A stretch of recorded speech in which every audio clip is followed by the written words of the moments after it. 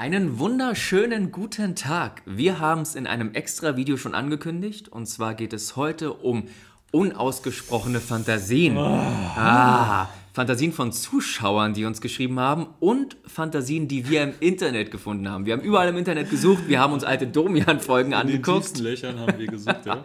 Und ähm, heute erzählen wir euch schlüpfrige Geheimnisse der Menschheit. Und weil wir beide so lustig sind, spielen wir am Anfang immer ein bisschen. Und was wir spielen, haben wir am Samstag entscheiden lassen von unseren Zuschauern, die im Facebook-Livestream zugeguckt haben. Wir haben gesagt, entscheidet, was wir spielen sollen. Es wurde sich entschieden für Singen, Leute. Ob das eine gute Entscheidung war, werden wir gleich sehen, aber wir werden es auf jeden Fall tun. Also es wird jetzt so ablaufen, dass Andi mein Handy kriegt mit meiner Playlist drauf, damit ich das Lied auch kenne. Und ich krieg sein Handy mit seiner Playlist, damit er das Lied kennt.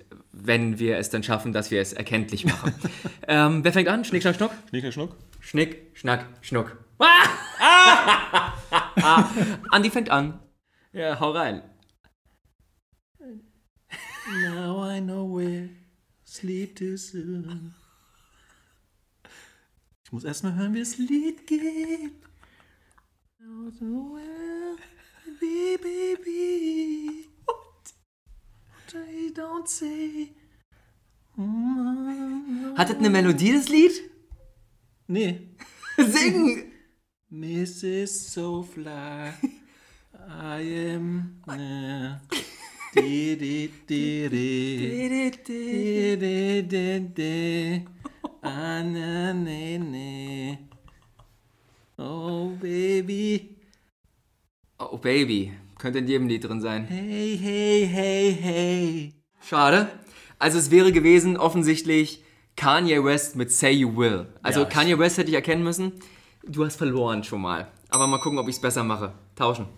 Okay, ich drücke jetzt, ja? Ja?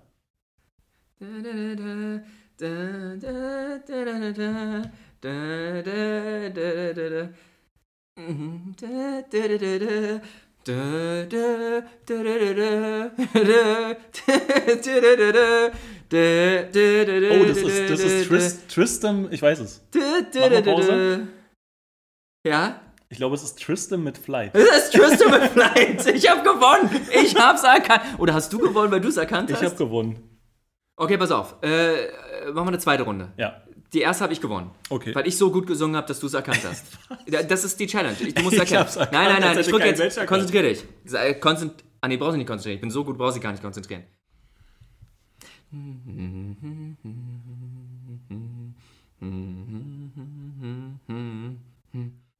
Miami ist eine, deine Mutter. Bitte der Nacht. Na, ah, Kokaina, ah, Kokaina, ah, Kokaina. Also wenn du jetzt nicht weißt, welches Lied es sein könnte. Doch, ich weiß es, aber mir macht Spaß es zu sehen. Also es ist äh, Miami Yasin mit Kokaina. 2-0.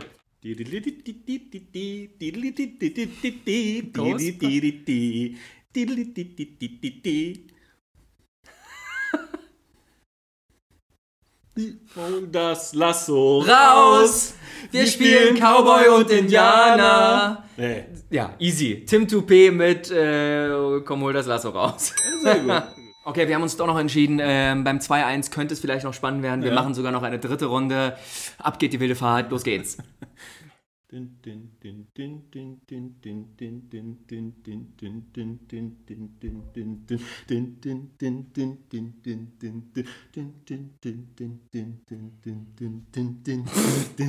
Hatte Text das Lied? Man weiß es nicht. What are we living for? There are places we only for. Only know. Ist das My Friend? Nein. Nein. Another hero. Oh na na na na. No no no no no. Oh! Na na na. Ist es na, Queen mit Who, Who Wants to Live Forever? Nein! Na, na, not everybody wanted looking for. Show must go on! Woo. Queen mit Show must go on! Hey, komm. Ja, Mann! 2-2. Oh, Finale. Finale, der Druck. Okay, bereit? Ja, ja, bin bereit bald. Möchte dich dran erinnern. Was denn?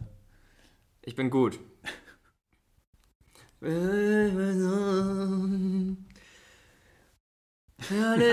weiß es. Was ist das? Nein, ich weiß. Du weißt das echt nicht? Alone in the Saganon. So, das ist auch meine Performance, ne? All alone in the sleep, no.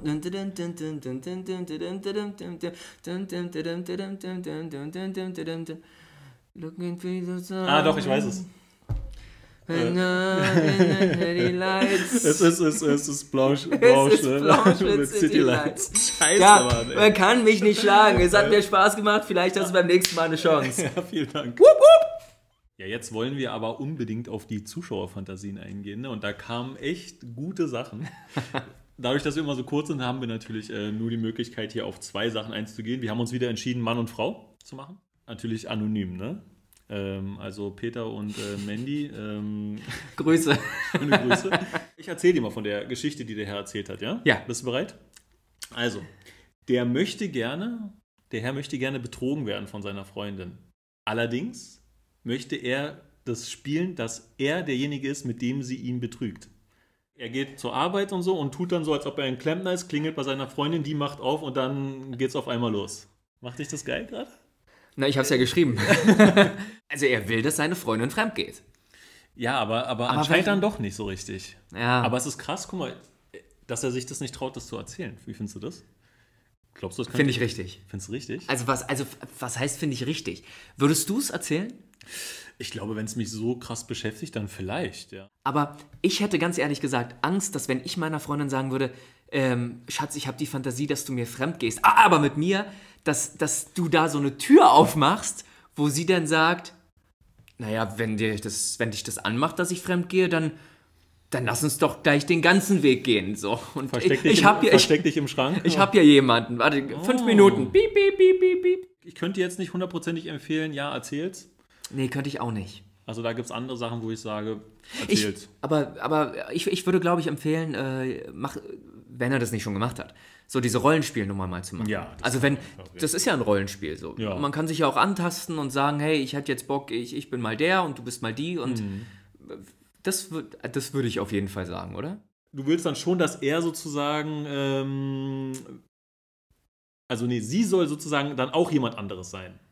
Ich glaube, das würde ihn nicht ganz glücklich Nee, machen. glaube ich auch. Ich Das glaube, glaub sie auch. soll schon die sein, die, es, die sie Ja, ja. ist. Und er soll Ja. der Klempner sein oder der. Aber man kann sich ja rantasten und, und erstmal so sagen, so hier, du bist äh, Biene Maya und ich bin Willi. Ja, So. das ist traurig, dass du das sagst. Das sind Geschwister. Quatsch. Sind alle Bienen Geschwister? Dann sind das Geschwister. Ich habe äh, mich mit der Geschichte von Mandy, der heißt natürlich nicht Mandy, ähm, beschäftigt. Und zwar, und da bin ich vor allem auf deine Meinung gespannt, ähm, äh, die Zuschauerin hat die Fantasie, dass sie ihrem Partner, die sind glaube ich schon ein paar Jahre zusammen, hat sie geschrieben, gerne mal beim Masturbieren zusehen würde. Sie findet es, die findet den Gedanken erregend und heiß, wenn, wenn die beiden keinen Sex miteinander hätten, sondern dass sie ihm zuguckt. Aber auch, auch so, so wie ich das verstanden habe, also nicht während des, des Aktes, sondern so quasi, ich setze mich auf den Stuhl und gucke meinem Partner zu. Und sie traut sich das nicht ihrem Freund zu sagen. Sag's ihm einfach, 100 er macht das hundertprozentig. Das ist, ist überhaupt kein Problem. Äh, ich glaube, da gibt es echt kein Problem. Wenn du es einem Typen sagst, machst, machst du mal selbst, ich würde da gerne zugucken bei. Ich, ich glaube, ich, also ich, ah, es gibt natürlich äh, ganz verschiedene Typen, aber ey, vom Gefühl her 9 von 10 sagen, äh, jetzt? also äh, nochmal vielen lieben Dank äh, an, an die Menschen, die uns äh, Nachrichten geschrieben haben. Ähm, komischerweise unter dem Video hat sich keiner öffentlich dazu geäußert. Warum nur? Ähm, aber vielleicht äh, kommentiert ihr ja jetzt hier eure Fantasien, das ist eure zweite Chance quasi. Wir haben aber natürlich nicht nur ähm, Zuschauernachrichten bekommen, sondern wir haben, wie wir schon gesagt haben, das Internet durchforstet. Ich glaube, ich habe Die, tiefsten Löcher die haben wir. tiefsten Löcher äh, im wahrsten Sinne des Wortes. Ich habe mich viel mit Domian beschäftigt und du hast so im, Darknet quasi gesucht, oder? Nö, das ist einfach so meine Freundesliste mal durchgegangen und, und dann äh, kam da ein bisschen was bei rum. Äh, waren äh, krasse Geschichten bei. Also ist jetzt nicht eine Fantasie von mir, aber das gibt es auf jeden Fall, diesen Trend. Und zwar ist es der Giant Woman Trend. So, es gibt Videos, da sind aus ganz kleinen Winkeln aufgenommen, dass die Frau aussieht wie ein richtiger Riese. Also so wie wenn du früher Smacks gegessen hast und gesagt hast, oh, ich esse euch alle auf. Hast ist, du gemacht, ja? Habe ich immer gemacht. Und ähm, dass es dann Frau, also dass es Männer gibt, die ganz klein sein wollen und dass die Frau so riesengroß ist und dann die Frau hat dann in dem Video dann auch immer so eine kleine Minifigur, wie diese kleinen Soldaten von früher, kennst du die, mit denen man gespielt ja, ja, hat? Ja, ja, ja. Und das ist dann, der, der Mann fühlt sich dann da rein und dann macht sie ihn zum Beispiel in ihre Unterhose rein es gibt Männer, die wollen ganz klein sein und in der Unterhose der Frau den ganzen Tag rumgetragen werden. Und es, ist, und es gibt Echt, richtig ja? viele Videos davon, ja. Also sie läuft dann auch in den Videos manchmal so durch so kleine Städte wie so ein alter Godzilla-Film oder sowas. Und dann nimmt sie die und dann sagt sie so, ah, ja, du bist aber hübsch. Dann steckt sie sie in ihre Unterhose rein, hat sie vielleicht noch eine, eine Strumpfhose an oder sowas. Und ähm, der muss dann da drinnen leben. Sind das große, dicke Frauen? Nein, das sind hübsche Frauen, ganz normale Pornostars, würde ich sagen. Echt, ja? Und die machen das dann so als als Fetisch oder sowas oder, oder als Fantasie. Also fand ich richtig abgespaced. Ist im echten Leben, um nochmal zu, ist nicht durchzuführen. Ist nicht ne? durchzuführen, nee, leider nicht irgendwie. Außer es kommt mal der Angriff der Riesen-Amazonen. ist ja angekündigt oder, worden jetzt vor ja, kurzem. Ja, ja, ja. Meine erste Domian-Geschichte ist, glaube ich, äh, nicht so das größte Highlight für ganz viele, weil Ach, ich glaube, das ist die bekannteste Domian-Geschichte. Ach, dann weiß ich, wovon du weißt, wen ich, glaub, ich meine? Ich glaube schon, ja. Den Hackfleischmann. Ja. Also da hat ein Typ angerufen und hat gesagt, ihn macht das also er geht zum, er geht zum äh, Fleischer, ja. kauft sich Unmengen an, äh, an Hackfleisch, packt die in eine Badewanne, formt sich in der Badewanne eine Frau daraus und findet es unfassbar geil, mit diesem Hackfleisch zu schlafen. Es gibt ja auch American Pie, ne, mit dem Apfelkuchen ja, und so. Ja. So, hast du sexuelle Fantasie mit Essen? Nee, gar nicht aber auch nicht dabei essen oder so. Ich finde auch immer, immer, wenn du in irgendwelchen Filmen siehst, dass sich Leute mit Schokolade vollschmieren und so. Nee. Äh, es, gibt, es gibt, kennst du die Frauentauschfolge, wo, wo einer, ich glaube, es war ein ja, Typ, sich ja, hinlegt ja. und ein live Tisch quasi ist und Spaghetti auf seinem Bauch hat. Spaghetti Bolognese oder sowas, ne? Also das ist auch so richtig abturnt. Abgründe. Ich stelle mir mal vor, stell mir vor, du schmierst dann Nutella irgendwie hinten rum und dann bist du dann da mit dem Finger mit der Nutella und sagst, na Schatz, schmeckt's? Ich habe diesmal gar kein Nutella genommen.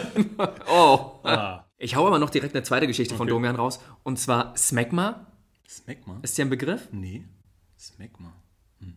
Smegma ist so die, die Ansammlung also die weiße, gelbliche Ansammlung unter der Eichel eines Mannes, wenn er sich lange nicht gewaschen hat. Ach, Kuppenkäse meinst du? auch bekannt als Kuppenkäse offensichtlich. Ja. Und da rief bei Domian jemand an und meinte, er findet es unfassbar geil, dass er sich tagelang nicht wäscht, mhm. sein Smegma quasi sammelt. Mhm. Ähm, ich rate euch nicht bei Google Smegma einzugeben.